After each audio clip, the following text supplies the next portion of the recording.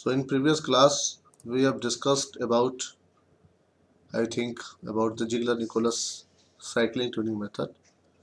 Today we are going to discuss the second part or the, second tuning method using the Cohen-Coon right and rather the Ziegler-Nichols is most famous method and uh, the most acceptable method for the tuning. But uh, in some extent Cohen-Coon at the same time is also developed in 1953 by the Cohen and Coon. Okay and it is an alternative of the ZN method. So it also have the same uh, you know uh, criteria you can say based on the open loop. Okay so the Cohen-Coon open loop method we are going to discuss first uh, you can say here in this tuning the control action is removed. Means it is the control controller and this is the final control element and this is the process. Okay? So first we have to do we have to remove the controller to the you can say from the uh, controller wall. Okay? We have disconnected here. So control action is removed. Control action is removed from the controller by placing its manual mode हमने क्या किया? Now what we are going to control the process हम लोग क्या कर रहे थे? पहले हम लोग इसको कंट्रोल कर रहे थे using the controller now we are going to control the same process with the help of the manual manually we are going to control okay the valve is going to whatever the command required for the for the valve we will supply from manually simple okay so first it is the closed loop in the closed loop first what we have to do we have to disconnect the control action or remove the control action and fix it into the manual mode okay and record the open loop response open loop transient response okay so open loop response कैसे करेंगे आप record with the help of the step change so whatever the you are going to give the control uh, command here that should be the step change. Or let's say the uh, you can say the amplitude of this step is m. So you know the Laplace is become m by s because the Laplace of ut is 1 by s. So the amplitude with ut is you can say 2 by m by s. Okay?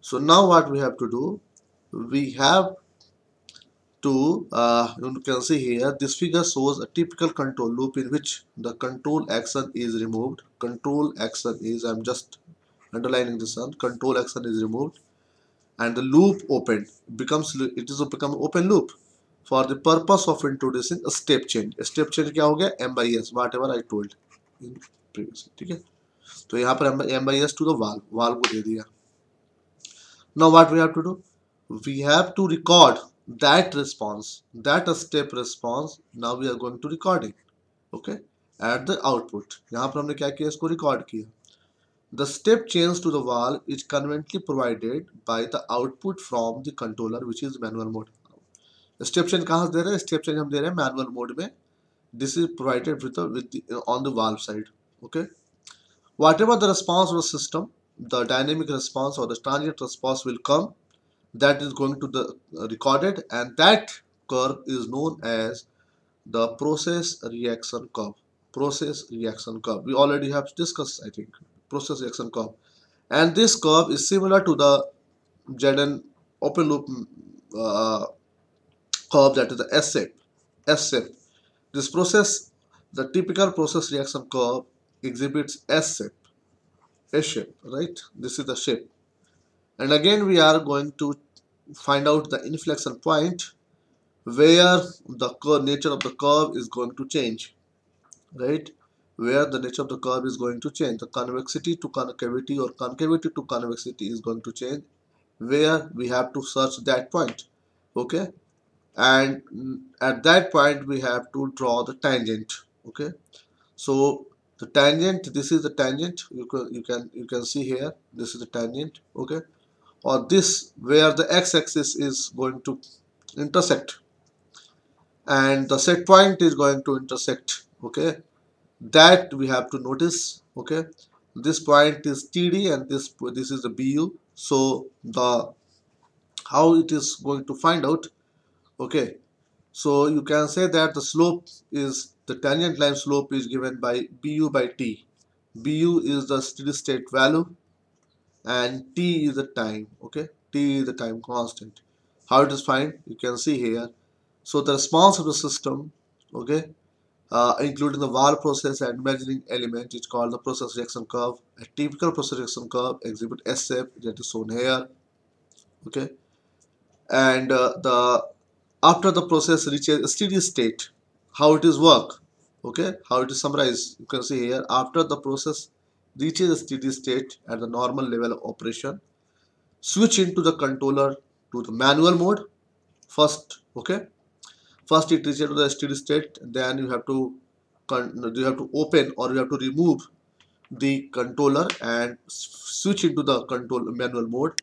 In modern controller the controller output will remain at the same value after switching as it had before switching okay so with the controller in manual introduce a small step change आपको manual mode में चला गया then what you have to do you have to introduce a small step change that is m by s in the controller output that goes to the valve and you have to record the tangent which is the process reaction curve once the reaction will be achieved you can find out the this is the delay time delay okay td okay so draw the straight line tangent to the curve at the point of inflection you know how the point of inflection we find where the concavity or convexity will change okay the intersection of the tangent line with the time axis is the apparent transport lag this is the called the transport lag td and the apparent first order time constant t the first order t is calculated as bu by s bu by s slope आपको पता है bu आपको पता है you can find out this value where bu is the ultimate value bu is the steady state value or the ultimate value of b at large t and s is the slope of the tangent. s is the slope of, of the tangent okay? The steady state gain. Now you have to also find out the gain. So the gain is calculated with the help of kp is equals to bu by m. m you know the step change what we have provided.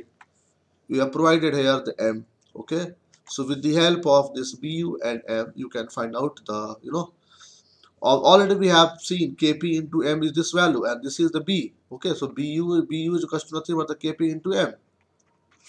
Okay so using the value of this value kp t and td you can find out the controller setting using the table. This table okay this parameter Cohen-Coon controller setting.